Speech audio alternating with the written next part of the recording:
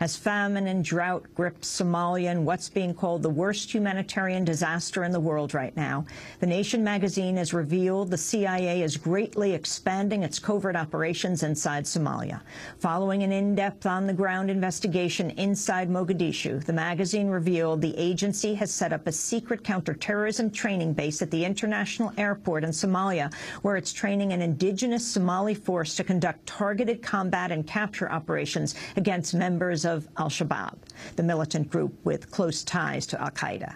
The nation has also revealed the CIA is using a secret underground prison in the basement of Somalia's National Security Agency. While a U.S. official told the nation that the CIA does not run the prison, he acknowledged the CIA pays the salaries of Somali agents. Some of the prisoners in the prison have been snatched on the streets of Nairobi, Kenya, and rendered to Mogadishu. The revelations come as the Joint Special Operations Command, known as JSOC, has increased its targeted killing operations inside Somalia. On June 23rd, JSOC forces targeted an alleged Shabaab convoy and then landed inside Somalia to collect the bodies. We're joined now by Jeremy Scahill, the national security correspondent for The Nation magazine. He's just returned from Mogadishu, Somalia. He's a longtime Democracy Now! correspondent. His story in this week's Nation magazine is called The CIA's Secret Sites in Somalia. Jeremy, talk about what you found in Somalia. Well, um, I, I, traveled to Somalia with uh, with Rick Rowley from Big Noise Films, a, a filmmaker, and uh, and we were there for uh, for about ten days. Um, and we were investigating the institution of targeted killing um, that is increasingly present in the U.S. national security strategy, particularly under President Obama. Um, and, uh, and, and, when we arrived in Mogadishu within days, we discovered uh, that the CIA had just finished construction of a, a pretty massive compound uh, at the Aden Adde International Airport in Mogadishu. Um, and, uh, and the compound, which is, is uh, not even hidden in plain sight, it's just in plain sight, uh, looks like a gated community. It has about a dozen buildings inside of it, brand new. it's a walled compound with, with guard posts at all of its, at each of its four corners. It's right on the banks of the Indian Ocean. Um, and then next to it, there are six or eight small hangars, and the, the, CIA also has its own aircraft there. Um, I was able to uh, to track down a senior Somali intelligence official and began the process of investigating this facility. And what I discovered is that the CIA is training uh, what was described to me as an indigenous uh, strike force, uh, members of Somalia's National Security Agency, its intelligence division, um, to conduct operations in the areas controlled by the Shabab in Mogadishu. And, and you know, know, it, the, the situation is very fluid, but the Shabab control a huge portion of Mogadishu, and the internationally recognized government uh, controls about 30 square miles of territory. Um, when I asked a very prominent businessman who works in the port of Mogadishu who controls the rest, he said the Shabab government, um, and, and, and referred to it as such. And everyone says that if the, the 9,000 troops from Uganda and Burundi that are there as part of the African Union were to pull out, that the Shabab would take over in, in you know, minutes, if not seconds. Um, and, and so we discovered that the CIA was expanding its operations there. But then I also met a, uh, a, man who claimed that he had been uh, held in an underground prison in the basement of the National Security Agency, which is one of the facilities where the CIA has its personnel, and it's literally behind the presidential palace in Villa Somalia, which is the semi-fortified area where the where Somalia's transitional federal government, the U.S.-backed government, is based. Um, and he described to me that he had seen prisoners inside of this and talked to prisoners inside of this basement um, dungeon who had been there for 18 months or more. There were people that he described as young boys um, inside the prison, old men, uh, described uh, infestation of bed bugs and mosquitoes, no windows. Prisoners are never allowed to see the light of day, and people are literally going crazy in the basement of this prison. And he said that he had seen both U.S. and French agents, white men, um, interrogating prisoners, and that some of the prisoners claimed that they had been snatched in neighboring Kenya um, and brought, rendered um, to Somalia. And, uh, and so I, I, started that investigation, and, and, more sources came forward when I was in Mogadishu um, to describe this and confirmed that this, that CIA personnel and possibly U.S. military intelligence personnel uh, are interrogating prisoners uh, held in that basement facility. Um, we found one man in particular, the case of one man in particular named uh, uh, Ahmed Abdullahi Hassan, who was a 25 or 26 year old Kenyan of Somali descent, but he's a Kenyan citizen, who was snatched from his home in July of 2009. And his lawyers allege that he was rendered to Somalia, and they said that it had all the hallmarks of a U.S. rendition. So I investigated that case and what I learned, and in fact, what uh, I can't say where the U.S. official worked because they wouldn't allow us to report it, but let's just say a U.S. official very familiar with these operations acknowledged uh, the case of Ahmed Abdullahi Hassan, said to me directly, the U.S. did not render him. And I said, well, we're not alleging that the U.S. rendered him. We're alleging that the Kenyans rendered him. You, you have to understand, in, in 2007 alone, the Kenyans rendered 85 Somalis, or excuse me, 85 people from Kenya to Somalia on behalf of the U.S. and other governments, including Ethiopia. So there's a, there is a long pattern here of the U.S. using proxy forces such as the Kenyans to do these renditions. So the U.S. doesn't have to put them on the plane itself. But the U.S. official acknowledged that the U.S. provided the Kenyans with the intelligence that led to Hassan, quote, being taken off the streets. So, so the, the, the, U.S. is playing semantics with this. It's clear that they made it abundantly clear they wanted him removed from the game, and he was swiftly abducted, hooded, taken to Wilson Airport, and then rendered to Mogadishu. This man was identified in a, an intelligence report that's believed to be a U.S. intelligence report that was leaked by Kenya's anti-terrorism police unit.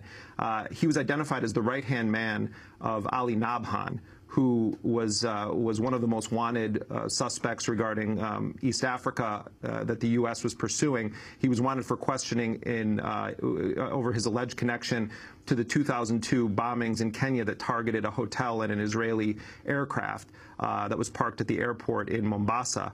Uh, two months after Hassan was snatched off the streets of Kenya. President Obama authorized his first targeted killing in Somalia and killed Ali Nabhan, the man that Hassan was allegedly the right-hand man to. So the U.S. role in that case uh, seems very, very clear.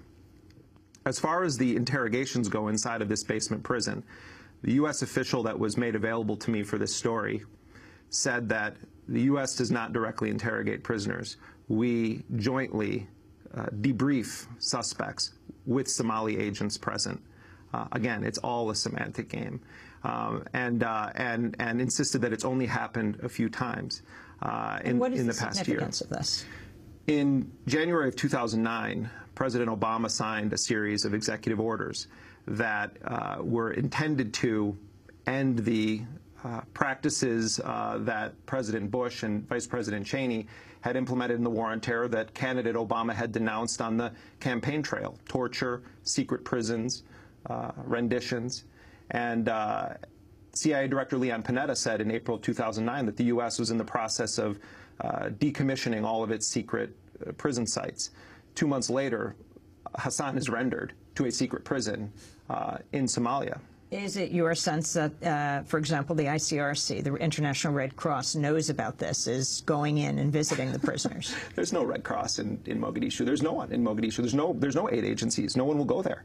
Um, there you know, prison visits? No. There's not even a you know food distribution program that has any Westerners on the ground. They just all the all of the white Westerners are are hiding inside of AMISOM's compound, the African Union compound, and Mogadishu is left to suffer completely. It is the most horrifying scene I've ever seen in my life. The prisoners held there, not only did they not see the Red Cross, they are not ever presented with charges.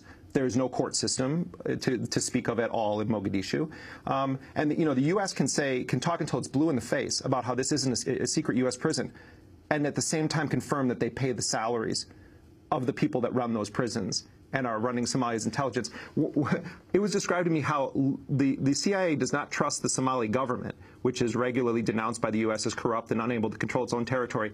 So they literally every month, the CIA lines up the Somali agents and pays them $200 in cash. So, so how is it that you can say, this isn't our secret prison. We're, we're just we're just there, and the, you know the, the CNN then the CNN gets spun by the CIA yesterday after my story comes out. And they say, well, the Somalis assure us that they're treating the prisoners humanely. You're paying their salaries. You know, that, that, that, that, that is using that site at a minimum. Jeremy Scahill, you write the CIA presence in Mogadishu is part of Washington's intensifying counterterrorism focus on Somalia, which includes targeted strikes by U.S. Special Operations Forces, drone attacks, and expanded surveillance operations. Right. Well, as I said, you know, Pre President Obama has made Somalia and Yemen major focus uh, points of his uh, continuation of the Bush era doctrine that the world is a battlefield and we have the right to kill anyone that we deem to be a terrorist at any time that we want in any country around the world. Uh, started started his targeted killing operation authorizations as, as far as we know in September of 2009, and just in the past uh, month. There have been a number of U.S. strikes inside of Somalia. There was the June 23rd strike that you mentioned, uh, where uh, a, where strikes were conducted against a convoy that allegedly was uh, was uh, headed by Shabab members, and then JSOC forces land on the ground and collect the bodies. They did the same thing with the Ali Nabhan hit in 2009. JSOC landed inside the country and took his body um, for verification. Then that it was him. Then on July 6th, there were three more U.S. strikes um, in uh, another area of Somalia called Kismayo, which is about 300 miles away from uh, Mogadishu. Uh, and you have, uh, I also was told by a very senior Somali official, and I'm going to be writing about this in the coming uh, weeks, that JSOC actually has forces on the ground uh, that are directly targeting Shabab, not just flying in and hitting them, but actually on the ground conducting operations. But I have to say, though, that while we can talk about the expanded presence of the CIA and this counterterrorism program, uh, as far as the Somali agents are concerned, it's been a tremendous failure. Uh, the only time that they've attempted uh, a targeted operation inside of a Shabab controlled area in Mogadishu was late last year and it was described to me as a categorical disaster where the Somali agents were killed, and they haven't tried another operation since. Um, so I think that the CIA is certainly operating in what is perhaps the most uh, dangerous and unstable environment that it operates in, um, and we're clearly increasing the amount we're spending on it um, and the amount of personnel that we're allocating to it, but to what effect is, is really unclear. Jeremy, AP reported this. A federal judge reacted skeptically to the Obama uh, administration's request to dismiss a lawsuit by an American citizen who says he was held in Africa for four months and allegedly interrogated more than 30 times by U.S. officials. Amir Mohammed Meshal, a Muslim man living in Tinton Falls, New Jersey, said he was subjected to unlawful rendition from Kenya to Somalia and Ethiopia carried out at the behest of U.S. officials. Right. I, if, if, that case is from 2007, the, the, the story there was that the, the United States backed a Ethiopian invasion of Somalia to unseat a coalition of groups that called themselves the Islamic Courts Union that had taken control of Mogadishu defeating the CIA's warlords who operated effectively as a death squad. Um, and they brought some semblance of order to Mogadishu. Um, they were ruthless, but they brought order to Mogadishu and were widely seen as the sort of most stable people that had taken power since the regime of Siad Barre was, was brought down in 1991, and then the Black Hawk Down incident happened. Um, and the, the U.S., uh, uh, of course, you know, took a position under the Bush administration that an Islamic government was not acceptable, and um, and they backed an Ethiopian invasion. And then JSOC went in and also did targeted killing operations. So many Somalis began to flee the Ethiopian invasion, and the Kenyans, in particular, uh, along with the Ethiopians, um, started just mass rend renditions um, where they were snatching people uh, off the streets and then sending them to um, either Mogadishu or um, another uh, area of Somalia where there was a secret prison called, uh, called Baidoa. Um, I, I, interviewed a, a, former Islamic warlord who uh, JSOC tried to kill in 2007. He was then um, abducted by Americans inside of Somalia and rendered to Ethiopia and held by the Ethiopians for two years.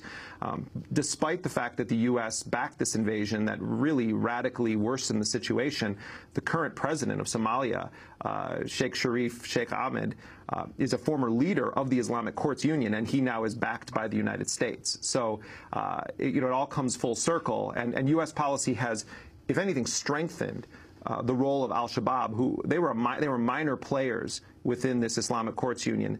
the U.S. and Ethiopian response made them the premier militants on the block. We're going to go to break, then come back and also talk about the famine that is engulfing Somalia, the drought. Jeremy Scahill with us. The CIA's secret sites in Somalia is his expose in The Nation magazine this week. Stay with us.